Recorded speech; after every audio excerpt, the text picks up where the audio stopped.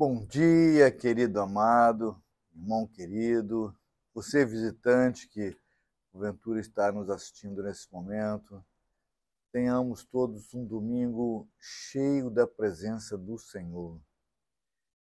E seja um dia gratificante nas nossas vidas, seja um dia que Deus fale aos nossos corações.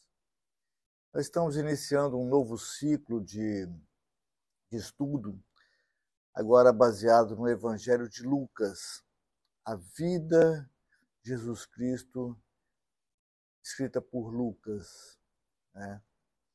E hoje nós daremos início à primeira lição, chamado Nas Cortinas da História.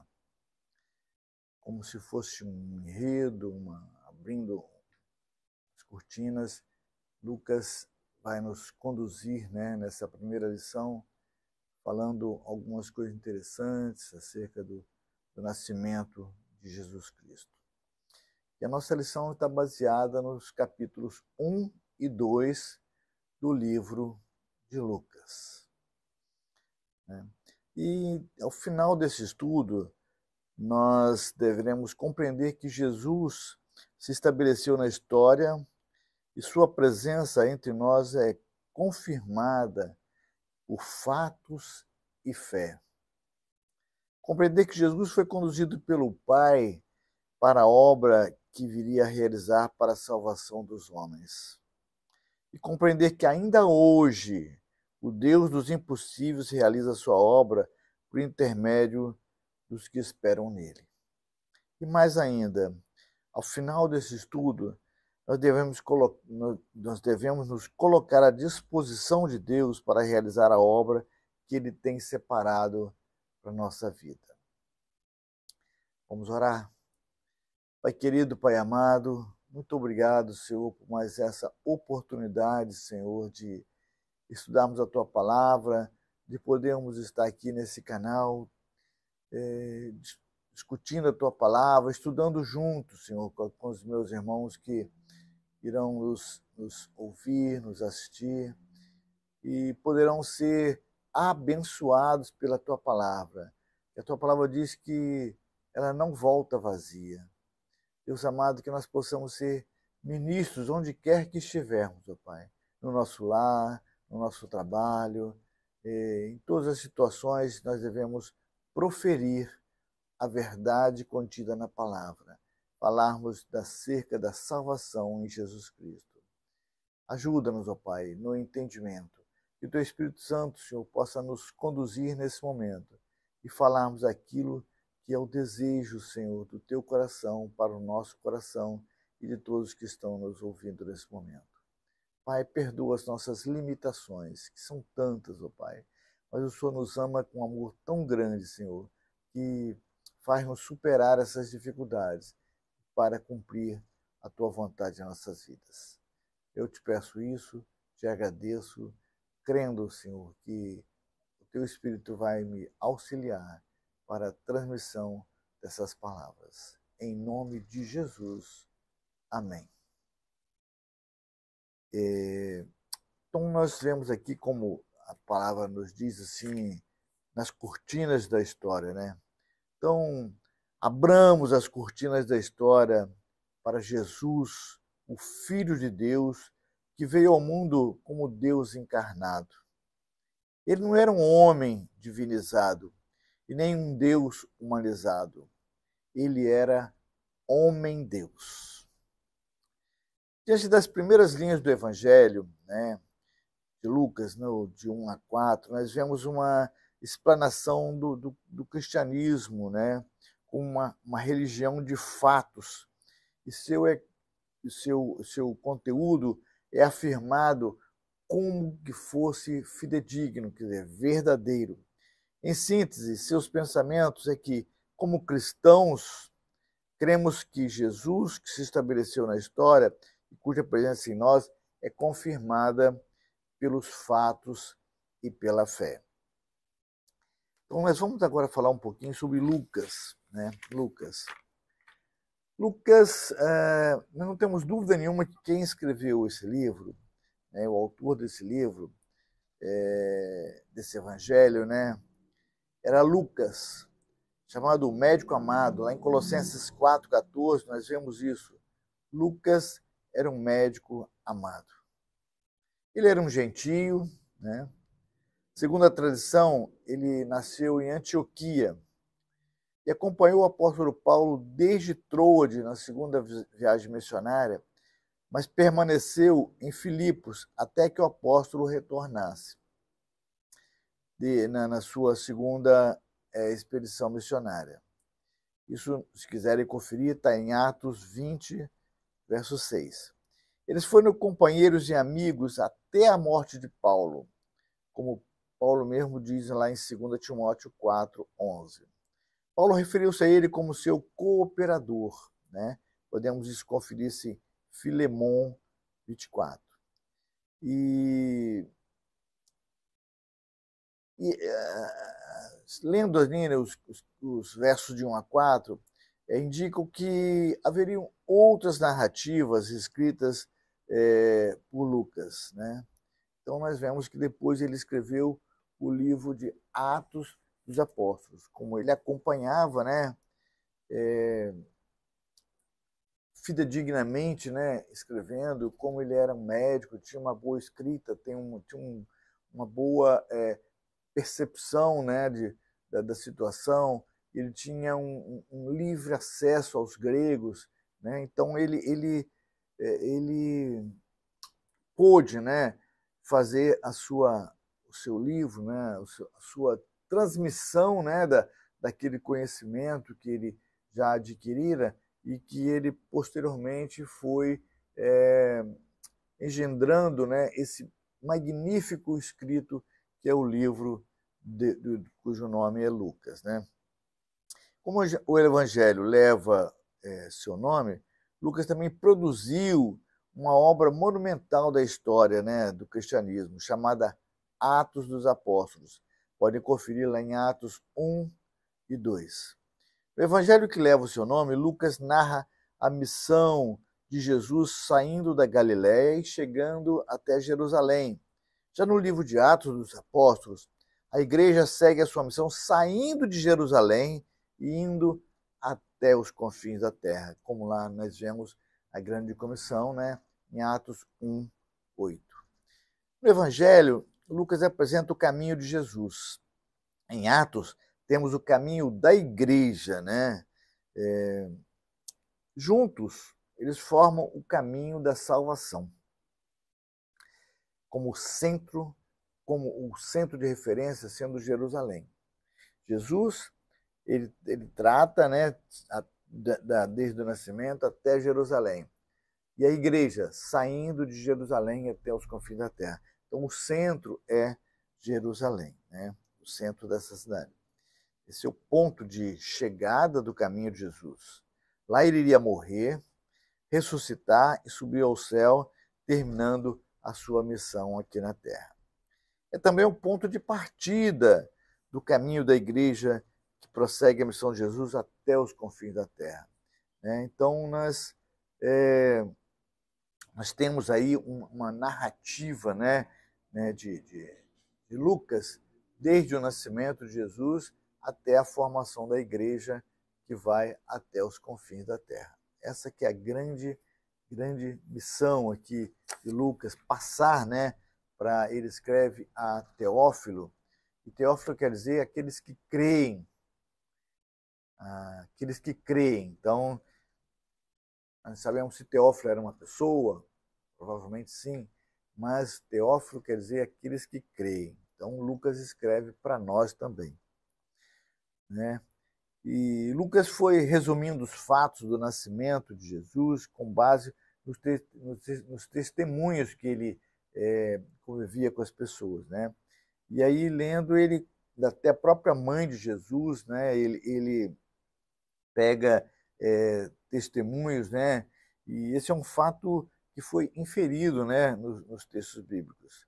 Os detalhes que temos não nos deixam dúvida de que Lucas estava com alguém que havia presenciado todos esses acontecimentos.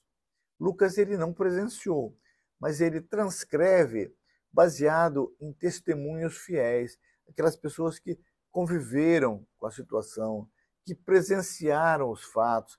Então, Lucas ele, ele escreve, ele descreve, ele compila todos esses, esses, esses é, essas informações de, de, pessoas que ele, ele é, tomou como, como, como base, de pessoas que conviveram, que viveram, que presenciaram todos esses, esses fatos.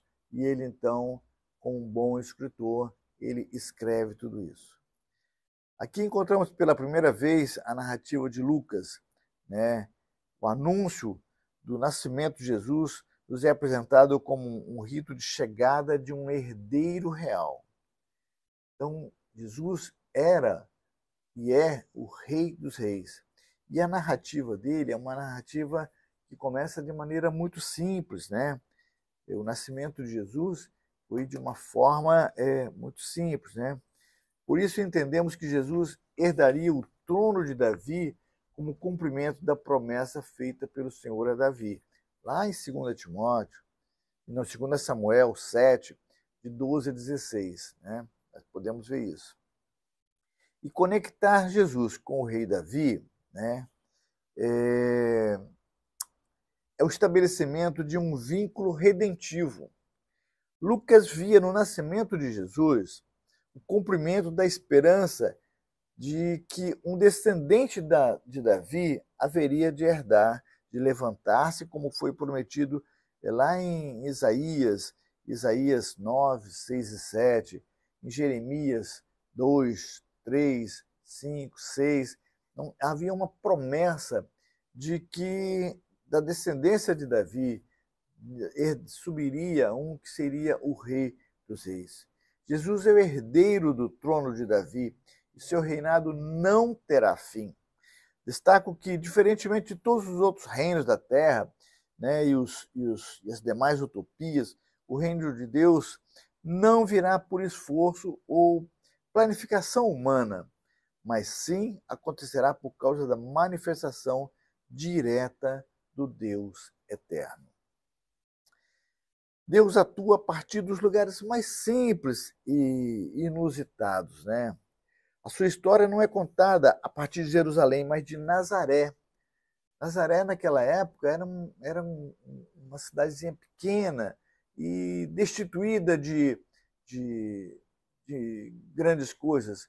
Era uma cidade minúscula, até, de certa forma, é, mal vista e também, sabe, achincalhada, né? Tanto é que quando disseram que Jesus veio de Nazaré, mas é possível vir alguma coisa boa de Nazaré? Mas Jesus veio de Nazaré, né? Jesus é o rei, seu trono está ocupado nos céus, como nós podemos ver isso lá em Apocalipse 4, 2.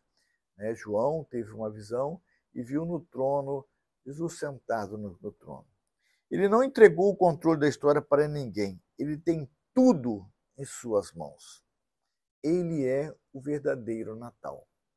Natal quer dizer nascimento, né? Então, tudo foi muito simples no primeiro Natal, isto é, no nascimento de Jesus, né? Mas o que havia ali era, era bastante significativo, porque o casal estava junto.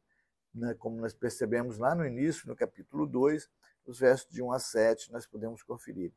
Maria, ela com as, com as, com as suas próprias roupas, ela enfaixa o seu filho, né, em faixas com as suas próprias mãos. E pelo relato do texto, José estava bem ao lado dela. Por quê? Porque quando eles é, houve a época da, da é, do, do, alistamento, né? Do alistamento, é, a família veio. José poderia ter vindo sozinho? Sim. Não havia nenhuma lei romana nem judaica que exigia que Maria acompanhasse José no alistamento. Né? Mas Maria, por amor e por, por cumprimento, cumprimento da profecia, que Jesus nasceria em Belém, lá na, na, na região de Efrata, né? como nós podemos ver isso lá em Miqueias 5:2, né? ela acompanhou José. E chegando lá, a cidade né, de Jerusalém estava muito cheia e não tinha é, nenhuma é, estalagem para eles. Né? Eles procuraram, mas nenhum lugar né, tinha é, hospedagem para eles. Então eles foram é, procurando e encontraram uma estrebaria. Estrebaria é um lugar onde dormem os, os, os, animais, né? É, estava lá aquela estrebaria, sendo que Jesus nasceu naquele local simples, numa estrebaria, e a primeira caminhada dele foi um coxo, foi um coxo de, de, de alimento para uma manjedoura, né? Uma, um, um coxo de alimento para os animais. E ali nasceu o Rei dos Reis. Né? É... E é nesse contexto de simplicidade e precariedade o relato, o relato do nascimento de Jesus. Né? E aí ele prossegue, né? quando a gente continua lendo lá no, de, de, no capítulo 2, nós vemos o relato de, de um canto, canto angelical, né? ocasião em que os céus invadiram a terra. É uma, uma, uma, leitura linda, né? Acompanhe, por favor. E no contexto desse pequeno hino celestial, temos o anúncio da redenção, pois ele nos lembra da nossa constante necessidade da graça de Cristo. Né? E para a gente ficar guardando isso aí, para a gente aprender isso aí, né? guardar no nosso coração, nossa fé não é constituída por achismos ou especulações. Nós não somos escravos do, do, do que alguém viu, mas vemos pelos nossos próprios olhos, né? Porque alguns já viram antes de nós. Né? É, o escritor C.S. Lewis diz o seguinte: nós devemos acreditar no cristianismo como acreditamos no, no brilho do sol. Né? Por quê? Nós simplesmente não o vemos, mas porque por meio dele vemos melhor todas as coisas. Quando está de noite, a gente enxerga com precariedade. Mas quando os raios do sol vêm, quando o sol se nasce no, no Oriente e começa a clarear, então nós não vemos o raio solar, mas através dele nós podemos vislumbrar todas as coisas com clareza, né? Então, nós temos de aprender, aprender a olhar o Evangelho de Lucas com esses olhos. Né? Nós entendermos que, como C.S. Lewis disse, nós devemos acreditar no cristianismo como nos brilhos do sol. Não simplesmente porque o vemos, mas porque por meio dele vemos melhor todas as coisas. Nós não estamos vendo o Espírito Santo, mas por meio dele nós somos impelidos e podemos ser agraciados com coisas maravilhosas. Tá? Então, o Evangelho tem a proposta de não apenas nos informar, mas formar nossa cosmovisão com os valores de um Jesus que é Deus, feito de carne e osso. Né? E aí, na, na, na concretude da realidade humana, Jesus nos ajuda a enxergarmos melhor o mundo à nossa volta. Tá? A Bíblia tem resposta para todas as coisas. Eu costumo dizer isso lá na, na EBD é, eh, presencial, que a, a, a, Bíblia tem resposta para todas as perguntas, todas as inquisições, todas as situações. Se nós buscarmos na Bíblia, nós vamos encontrar uma resposta. Né? Você não precisa renunciar à sua inteligência para crer em Jesus, de forma nenhuma. Né? E crer é, é, contrário de muita, muitas pessoas podem pensar, não, não depende da nossa capacidade, da nossa, é, do nosso conhecimento. Crer é fé. Né? Na verdade, as armas que combatemos não são carnais, mas é, têm a serviço de Deus o poder de destruir fortalezas. Essas armas que nós usamos, que nós cremos, ela destrói fortalezas.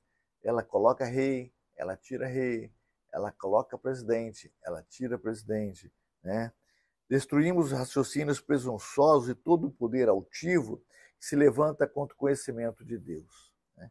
Tornamos cativo nosso, todo o nosso pensamento para levá-lo a obedecer a Cristo. Essa é uma, uma batalha de ideias, a verdade de Deus vencendo as mentiras dos homens. Será que acreditamos no poder de verdade? Será que você acredita que, junto com Deus, você pode destruir qualquer situação adversa? Deus tem o poder, ele é onipotente, ele tem todo o poder no céu e na terra para destruir qualquer barreira. Tá? Então, nós sejamos é, é, confiantes que Deus tem todo o poder. Né? E nós podemos entender que na simplicidade do nascimento de Jesus temos de construir nosso estilo de vida igualmente simples. Né? É, temos de aprender a viver com o que é suficiente. E aí eu pergunto, e quando é que o suficiente será o suficiente? Eis é a questão. A raça humana ela é insaciável. Quanto mais ele tem, mais ele quer. Mas temos que entender que, mesmo na simplicidade, Deus está conosco, nos fazendo vencer obstáculos. Né? E para terminar né, esse, essa reflexão nessa manhã, esse estudo, nós é, devemos conhecer que Jesus, que nasceu numa manjedoura e morreu numa cruz, sem chamar de realmente nada seu, é um apelo ao nosso estilo de vida, cada vez mais insano e individualista. Como eu disse, existe uma, uma, uma, é uma necessidade, né? muita gente, o ser humano, de crescer, de ter, de possuir, e nossa vida aqui na Terra é passageira. Né? Nós somos aqui, nós somos peregrinos, nosso lugar não é aqui. Nós estamos aqui, mas nós não somos daqui. E Cristo mesmo disse: Eu vou, mas vou vos preparar um lugar. Então, no momento oportuno, no momento que Ele já tiver preparado para nós nosso caminho, nós vamos subir e vamos morar com Ele eternamente.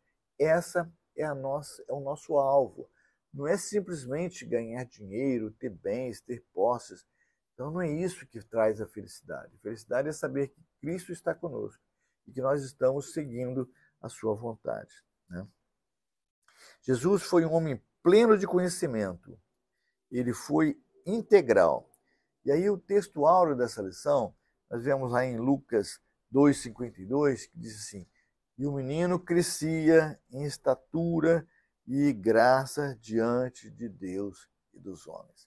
Então nós que nós possamos entender verdadeiramente é, os, os, planos da salvação, é, nós possamos entender, compreender aquilo que, que Jesus quer na nossa vida, nós possamos entender que o nosso plano é seguir a vontade dele. Né? É, a Bíblia não, não condena que a gente tenha posses, mas o grande problema é o amor a essas posses. Né?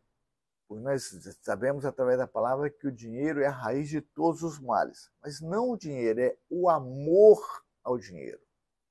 Tá? A Bíblia não, não condena que tenhamos bens.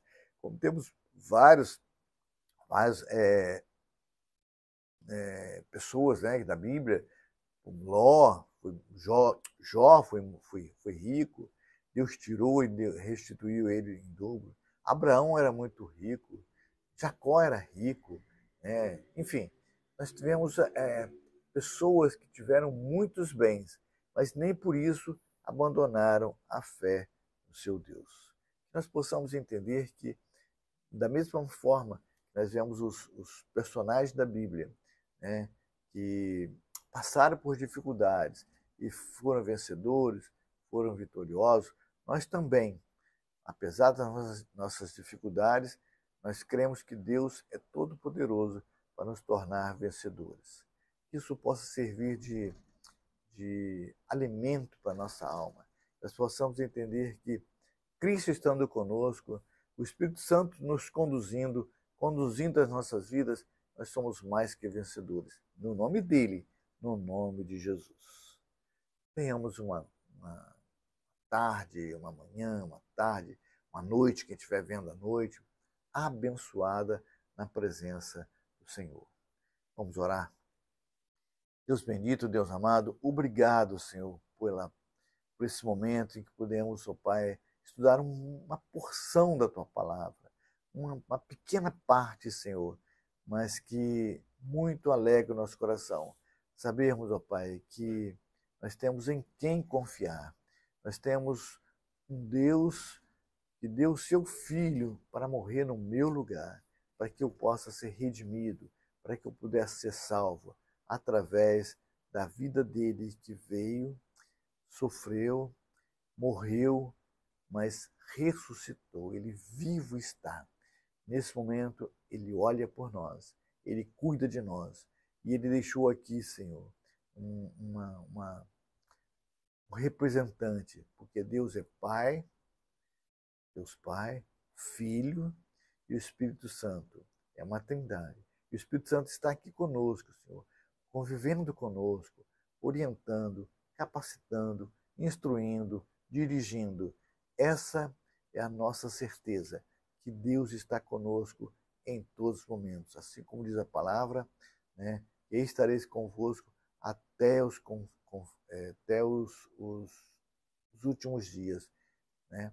Então, Deus, essa é a certeza que temos, que temos um Deus que podemos que pode cuida de nós que nós podemos confiar, porque Ele é fiel, Ele é digno. Pai, perdoa as nossas limitações. Complementa, Senhor, no coração de cada um que ouviu essa mensagem, essa, essa porção da, da, da tua mensagem. Complementa aquilo que não foi dito e que o coração nosso, Senhor, possa estar feliz, é, relutante, Senhor, cheio de graça, cheio de, de amor e de alegria. Dá-nos a paz que só o Senhor pode dar. Pedimos isso no nome de Jesus. Amém, Senhor.